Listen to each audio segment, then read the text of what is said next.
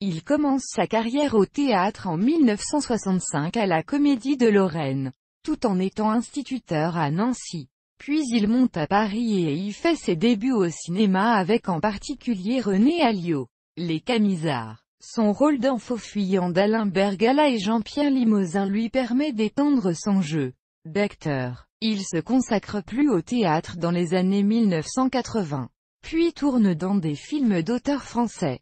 Sur mes lèvres de Jacques Audiard. Il joue dans de nombreux téléfilms dans les années 2000. Et en 2010 il interprète Frère Bruno dans Des Hommes et des Dieux de Xavier Beauvois. Il a été codirecteur du Théâtre des Fédérés dans sa ville natale, Hérisson.